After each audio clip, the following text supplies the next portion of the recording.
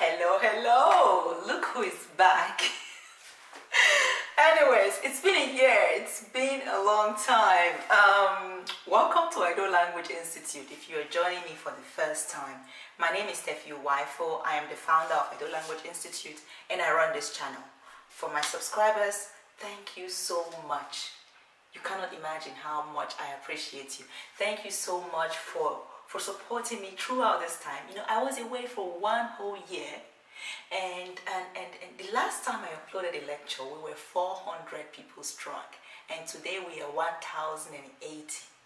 So you guys are just amazing. You, you, my mind was just blown away. So thank you so, so much for everyone that sent me an email, you know, for everyone that left a comment. Some of you were really concerned. I remember someone sending me uh, an email. He found um, an Edo language dictionary and thought that it might be useful for my work. You know, can you can you imagine how thoughtful that was? That meant a lot to me. So thank you so so much. Maybe in another video we can sit down and you know have a Q&A and I can answer all your questions. But um, let me talk about today's video you know so there's so much to talk about but today's video is going to be about the nine foundational sounds of Edo language. I call it foundational sounds because they can make or break your success of learning the Edo, the, the Edo language. So um, so what is so special about these sounds? So many of you that watch my lectures you speak English you understand English otherwise you won't be able to understand what I'm saying right? So, um, so most of the sounds, you know, the alphabet and the sounds in Edo language, they do overlap with the ones in English, you know. But then these nine sounds are quite specific. You can find you can find some of them in other African languages, um, but they're not in the English language. And if English is the only language you speak, you might have some difficulty um, hearing, picking up these sounds and even being able to pronounce it, being able to reproduce it. So that's why I want to focus on it in this lecture. So um, um, because I really want you to be able to um, to, to have these in your in your men mental faculty, like to to master these because they will help you on the long run. And uh, without further ado, let's jump right into the lecture. So stay tuned. So, the nine foundational sounds of Edo language. Basically, these are the nine crucial sounds you should master in order to take your Edo language skills to the next level. So that's why I call them foundational sounds. Um, especially if you're a, a, an English speaker. So it's really important for you to get these sounds because you don't have them in the English language. But before we move on, I have an announcement to make and uh, that will be in the next slide. And the announcement is I published a book. Yes, I published a children's book titled Emi Yani Edo, All the Things I Know in Edo Language. Because uh, for a long time I've been thinking of ways to make Edo, learning Edo language more fun and more memorable for kids just more suitable all in all. And this is one of the results I came up with. It's a three back three part book. So this book is part of a series. That's why you have volume one there. Volume two and volume three are in production. So I like not in production but I'm, I'm working on them. And they will have uh, their own main characters as well. The main character here is Efosa and he's teaching you everything he knows about the parts of the human body. And I'm really very proud of this work and I, I, I and I know that uh, you're going to be very pleased um, with the work with with the content as well. So here are the links. You can get it as a paperback or as an ebook and it's available worldwide on Amazon. So no matter where you are you can get this book as long as Amazon delivers to your country of residence. So, um, and I'm also looking forward to hearing from you. Let me know, let me know how you found the book. Let me know um, if you have any uh, any any remarks for improvement or anything that particularly touched you. Let me know. I'm really looking forward to that. So now going to the lecture. um, yeah, let's continue with the with the lecture of today. So these are the nine sounds that we're looking at today. Um, if you've been fo following this channel for a while now, for a long time, you know that I have done a lecture on these sounds. Well, by then it was eight. Uh, I, I forgot to include this last one, the m sound. Uh, that was last year in 2018, July 2018. But I decided to revisit it this time again because I noticed that a lot of people, including my siblings, they have issues with pronouncing these sounds and they are very frequent sounds in Edo language. So you really need these as your foundation in order to to master Edo language. So and also the the, the second reason is also um, this time that I'm not showing my face or showing my lips uh, pronouncing these sounds because I did that lecture and the focus this time is for you to listen, for you to be able to pick these sounds up, you know, and differentiate between them. So not just seeing me, my lips moving, but then really training your ears to pick up these sounds. So that's the focus also this time. And also to know the exact places where these sounds are made in your mouth. And you will see more of that in the next slide. First of all, I want us to briefly look at the human vocal tract. So where the sounds, um, where the sounds, the different sounds are made. So the part of the mouth that enables us to make the different sounds. So let's begin with the tongue down here. We have the tongue, and we, you have the tongue, the tip of the tongue, and the blade, the tongue blade. Um, and then we have the teeth. So there are some sounds that are made uh, by the two teeth coming together like the like your teeth coming together? Or or sometimes you're putting your tongue between your teeth? In english language for instance you have the like in thin.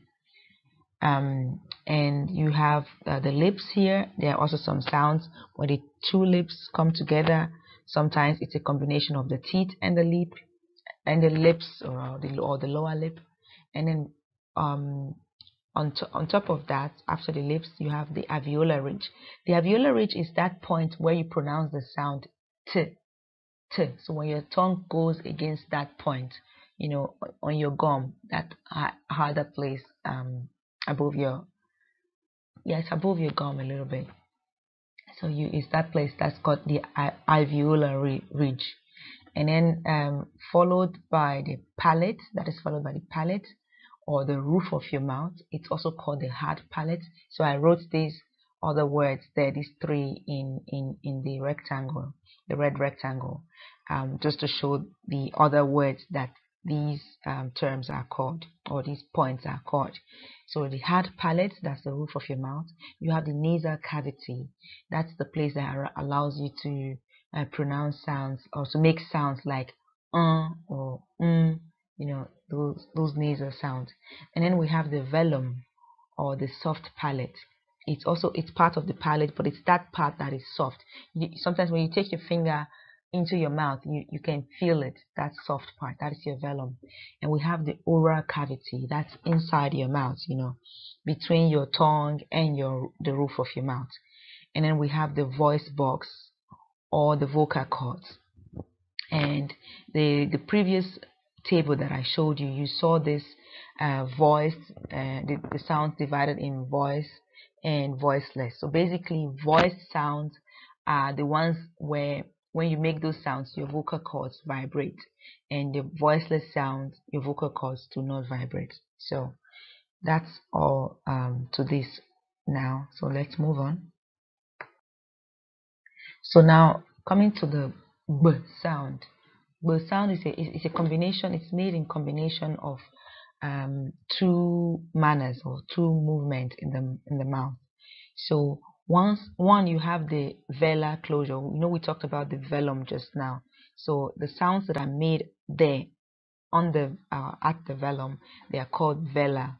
Uh, it's a velar in, in velar sound. So um, so you have a velar closure. So you are you are stopping air from flowing through so you, the furthest part of your tongue in the back is touching your velum, or it's closing. You know, it's touching your velum and closing uh, closing the, that space, stopping air from flowing through. And then at the same time, you have the bilabial closure.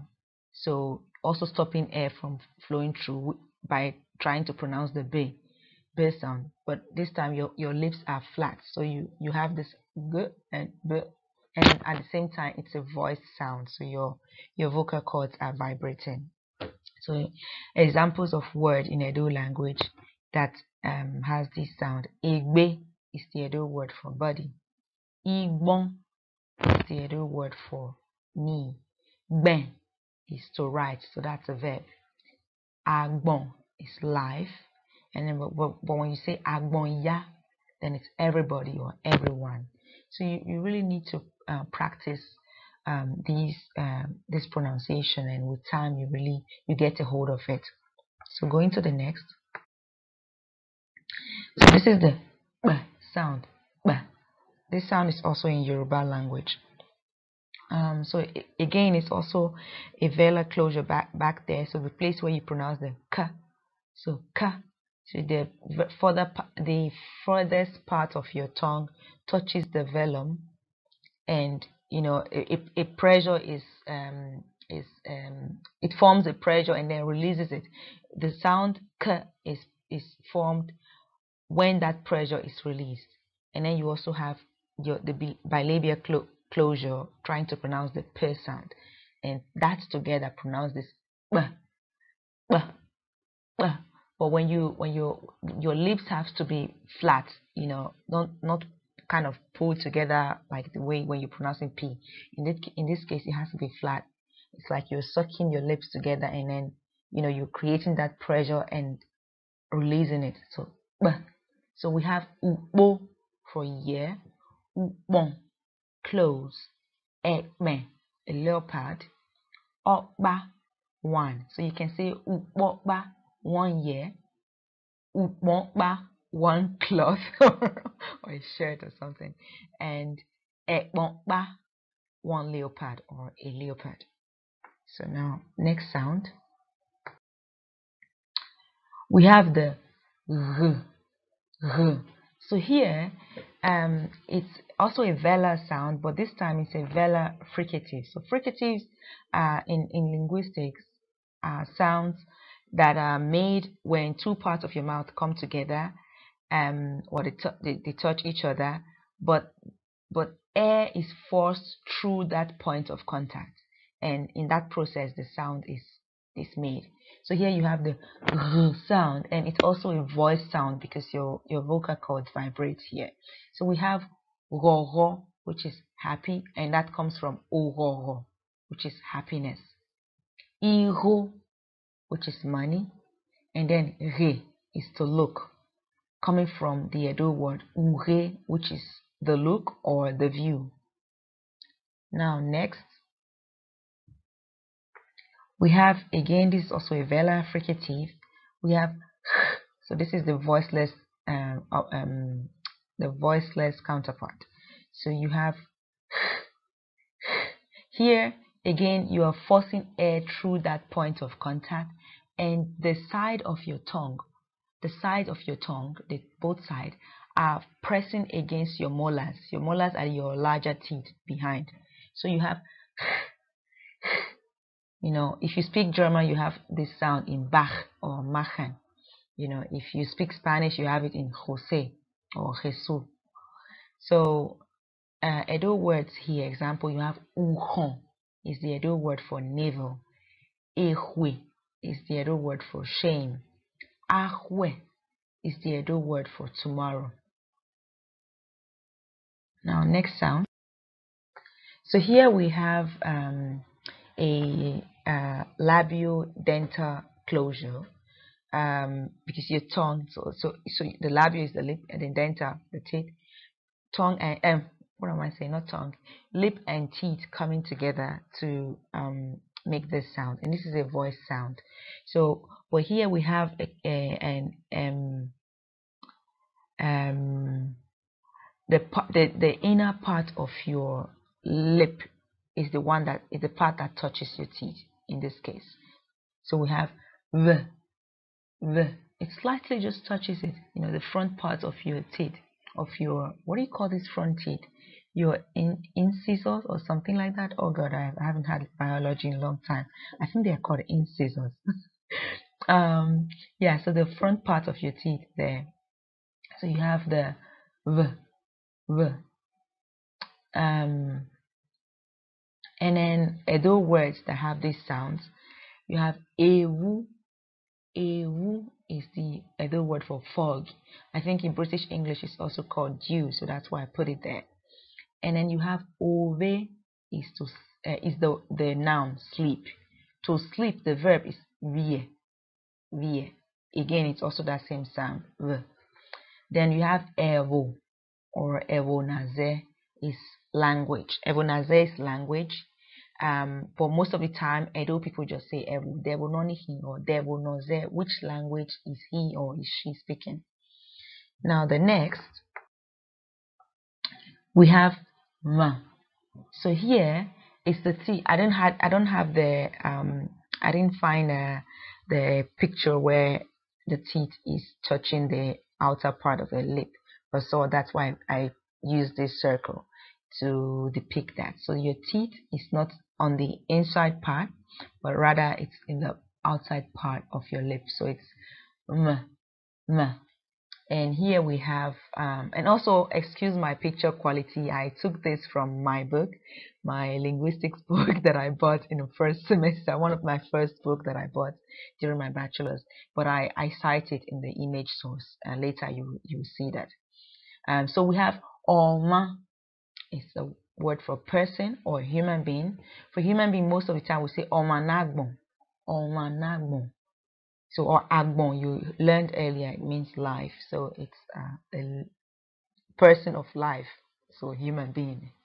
Um, we have ene, ene, which is word, but it can also mean matter. So when someone says it's like address this matter, speak on this matter.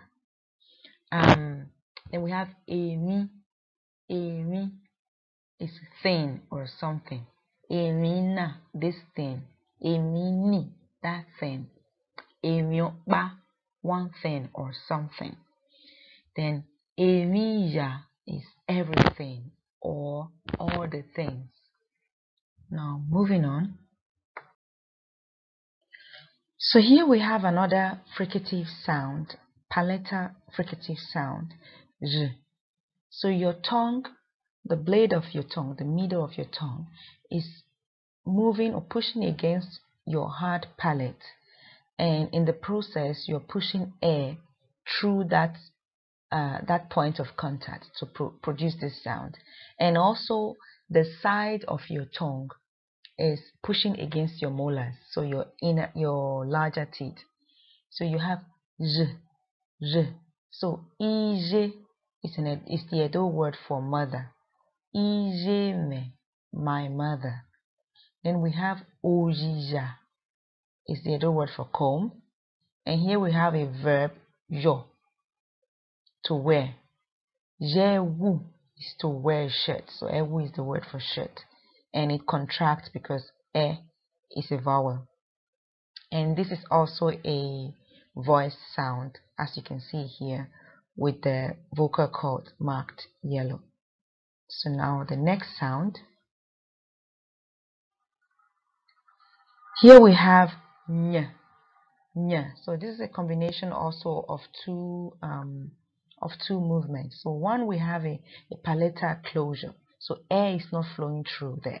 So you really have your tongue, the middle of your tongue blade against your hard palate and at the same time you have your teeth closed nya nya and then at the same time your tongue is against your hard palate that's how you make this sound so we have enya is neck inya yam onyeme joy enye is the Edo word for snake enya inya onyeme enye.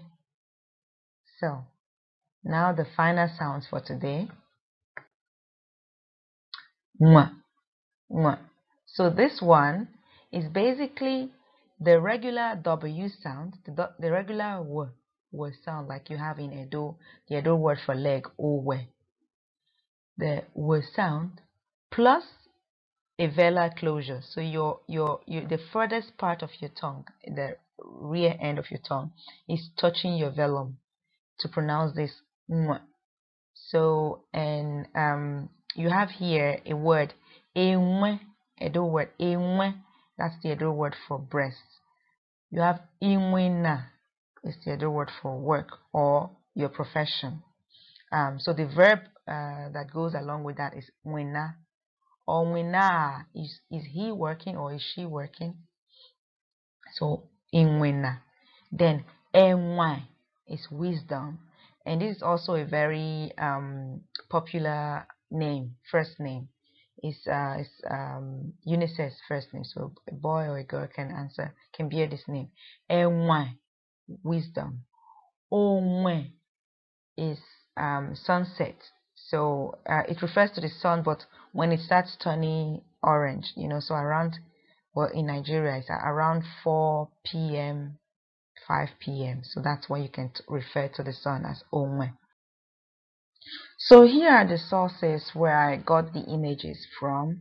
Uh, the first image of the human vocal tract I got from Wikipedia and this is the book, the second one here, the book I was telling you about that I bought during my bachelor studies. So I want to thank you for watching this lecture to the very end. I truly appreciate that. Don't forget to grab your copy of my new book. Like I said before, it's available on Amazon worldwide. The links are in the description box. You can get the paperback or the Kindle version. If you want to support this channel, you also find a link to my Amazon registry there in the description box. While at that, don't forget to like this video, don't forget to share. And also, if you are not subscribed yet, don't forget to hit that subscribe button and activate the notification bell so that you are always notified whenever I upload new content. So, uh, till next time, take care and bye bye.